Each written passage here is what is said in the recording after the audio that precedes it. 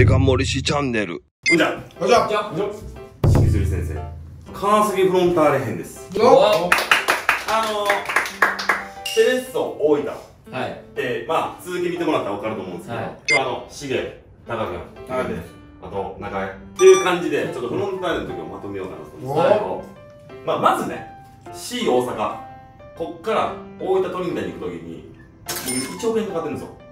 ゼッキン？移籍金が、えまずー？まず1億かかってます。はい。で大分、まあ、セレッソ2年半おってトリニダ6年半いました。うん。結構長かったよね。はで J2 小学プレーオフ行って4点取って J1 上がった最後の年に稼働率40%やったんやけど多分ナビスコと天皇杯で12点取ったかな。40%でそう。リーグ戦はねリーグ戦はうん。確か。でこっから僕は262014年シーズンにまずこれ裏話してみるけど海外行きたいなと思っおい海外。おおそうなんですか。ちなみにどこっすか？たアジア行きたかったんあヨーロッパじゃないんですねえ K リーグからオファーがあると思った韓国の。ああ K リーグ。K リーグがオファーあると。でも第2候補やってん第1候補に、まあ、中国リーグがすごかった時でで。あ第2候補にデカモリ第1候補がセルビア人第2候補が俺やってん？デカモリ人めっちゃ金よかったよ K リーグいやそうオファーも来るっていう内容が。2年でうんてか奥って感じやって。ええでうんうん奥そう運もやって。俺はそのやっぱお金を稼がないといけないなっていうふうになってたし。当時あ26 6なんでもう一番脂乗る時。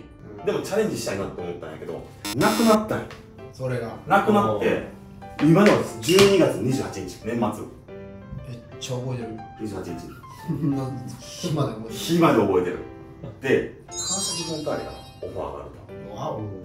まさか来ると思わなかったし僕の師匠兄貴である大久保師匠が毎年行っててでセレッソの時かぶってんねんけど俺もまあ大分で頑張ってたしちょっとここでチャレンジしたいなって思ってここを選ぶねん。はいで俺の移籍のモットーっていうのは一番最初にレター出してくれたのに行くっていうのを決めてるなるほど。ええそう。それがやっぱ一番好きやったからフロンターレに行きます。ACL もあるから来てくれで、まあ、怪我人も多いから。で行くんですけどまあそのしくじり先生じゃないねんけど。やっぱしくじってないっすよね今しくじそうそうそうそうやねん。そうしくじってないねんけどえぐいメンツがこの大久保師匠。大久保師匠。レナと。え小林優えぐい。大島亮太。あえー、中野健吾さん、ジェシーとか、中澤壮太さんとか、伊賀ああ中澤壮太さんとか、で、田中裕介君。ああはいはいはい今、あの、そうやって、左の上り里。あで、あとここに、稲さんと、稲本潤一さん。まあ、いっぱいおった。このメンツすごいっすね。このメンツだけで。全然ちょいいっすか？海外移籍じゃあれ、その年俸高いとこ行けなくてフロンターレじゃないですか、うん金銭的にはどうだった金銭的には、さんは少しアップぐらい。ああやけど、もうありがたいよ。はいもう全然、でも俺らのまだ安い方やったかえちなみにな。はい。トリニータスより満了になったんですか？そのいや、まん契約終わって。終わって、更新。あーでも、ジェッツ落ちちゃったから。あじゃあだからフリーな状態そう、フリーで移籍でき金がかからなそうそうそうそうそうでもまあ、大分も前走したらダウンページ。うんどこ行くんやろうみたいな感じになってね。なで、るほどねああそう俺はこの、おここに挑戦しなあかんから、この人。で、タカと取ったんですけど、まずじゃあ、キャンプ行くやん。うんキャンプ行って、はいキャンプ行きましたねこんなメンツいるやん。で、風間さん、監督。あこの人のなメソッドを、えっ、とイズム、ですね新そう、出雲、新しいメンバー、1週間前にキャン練習の指導日、例えば1月14やったら、1月7日からあの新人と新加入選手はメソッドを受けるの。ええ止めていけるとか。これだけで貴重な情報なんですけどさそう、こうやねんけど、もう分からへん。俺はもう全然分からへん。一週間前で えそうその既存の選手は受けてない受けてないです。まあ、若手とかはおったけど、見本程度で。で、日本見せてくれてるやつ森谷健太郎っていう。あ健太郎とかもいたから、これめちゃうまいし、まあ、筑波からあるし。あ、もうこれ谷口翔もいたわ。おおお谷口翔。あと、車屋。あで、ここは受けるんよ。で、内転筋がバグると、まず、陰線で。ここでいけるからはでフィジカルを生かしたスタイルでやってきたことに対して風間さんはふ触れられるなといああ相手に。そう。こういうことや。ともうこうやって背負ってきた人間が触られんなっていうことがやってでまあキャンプ行くやん。ここで勝負しようと思ったらまあ下げるんだった。おって、うん。まあ、この小林優選手見て。最初一時キャンプ宮崎行くんやけどいやもうミスったなっていう。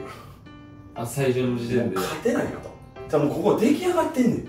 そこに入っていくから俺はもう必死やるよそりゃ。諦めたってことないよ。もうそれなんかもう分からへんねん。なんか監督のサッカーは歩いてやるとかって言ってるからどういうことなの まあ今は分かるよ。今は分かる。最初は分からんくってこういう感じで進んでいって。で僕これで全然2ヶ月ぐらい外されてねで ACL がありますと。日本ラウンドが。時にいきなり大バッテリーされます。おスタメンですか？はい。兄貴とツートップします。おおお風間さんって？例えば紅白戦やるときにさ1本目2本目3本目って1本目がさ A チームじゃんああそうトップとではい。て変えてやん。風間さん逆やん3本目がガチやねん。ええで俺3本目にデカ文字入っていやーそんな感じやなだからいきなりセットプレー入ってそのまま入ったから。えお前サメやねんみたいなって。知りやがって。前日寝れず。あのシドニーのチーム。はい。でやってて。でそこで最初川崎飲んだら初スタメン。ホームえですーはい。ホームでホームです、えー、ここからすごく面白い話なんですけどホームで2対1で勝ちます。お。シドニーのチームで、はいお。でまあ風間イズム体現しなあかんと思って俺死ぬほど外す動きを無駄なことして肉離れします。ここで小林優選手がいなくてちょっと肉離れでこれ多分水曜日ぐらい。で日曜日に J リーグ徳島戦ボルテスとアウェーで行くってなった時に試合日曜日前日。肉離れしてたけどただまあ優帰ってくるしちょっとまあ我慢してやらなあかん時やったから俺もここでスタメン出て、うん。まあ、風間さんもお前いい感じやなって言ってくれていけるわと思って J リーグ出るんですけど小林優前日移動する直前でやっぱ足痛い。できません。僕ここに一応スタメンになります。スタメンやねボルタレン飲んでとかもうはって張り合ってもらってまあ試合出るんですけどもうアップの時は痛くて痛くて。でやばい交代しようと思った。ら後半の時にもうあかんわもう無理やって言われてまあ3-0ぐらいで勝てない。前半。で後半に僕初ゴール取るんですよ。おお足痛いってもう出ようと思った時にレナとか倒れてさっきレナとか運ばれて俺待ってたんよ。でヨシトさんがゴール前で待っとけ。はもうゴール前待っとけって言ったらヨシトさんがパーンって出してあのショ種海翔がクロス上げて俺がこうやって打っちゃって入ってんそれが初ゴールで。いえでこんなんしてんねんよ。あのなんでお前点取れたか分かるか僕も動いてへんかったからボール来たんや。そこでどういうことなんやみたいな。思ってたんやけどこれ初これ初ゴール。深っ。動いてなかったから。そう。深っ。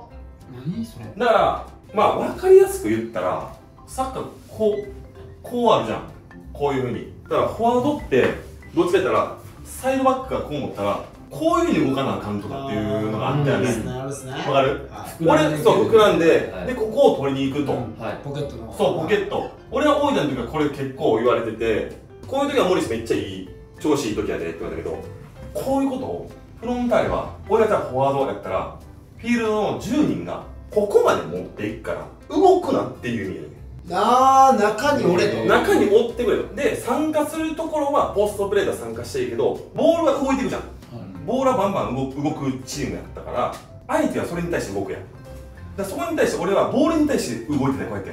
そしたら邪魔になるやん。レナとか前に行きたい時に俺はこういうとこ動いてるああって意味やし大久保嘉人さんがあのここにおって俺が降りてきたら邪魔になるわけやん。はい健吾さん持った時にこう効果的な動きしていってで右サイド持っていってでフロンターレっていうのはその時の当時はもうここでここをずっと回してるだからクロスも上がってこないからこの回してる間に外していくっていう。だからここで動けって言われてああ深っ。おもろい。そうだからそれを理解したんがフロンターレ1年おった2年後。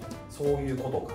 普通のチームじゃそんなことは簡単にできないできないそこのポケットまでボールを運ぶからそうそう運ぶからだからストロング自分のストロングのところで勝負しろよっていう。まあ切り替えとか義務やん。はい。だからフォワードやったら分かると思う守備しながら自分のペース上げていくみたいな、そこでまあフロンターレ1年間終わるんですけどまあその感じで、まあ、大型フォワード、まあ、期待されてて2年契約やったんやけど1年終わってこの後に来る杉本健佑おー。健佑が来るからどうするかって言われて、タイプ的にはそうねタイプ的には。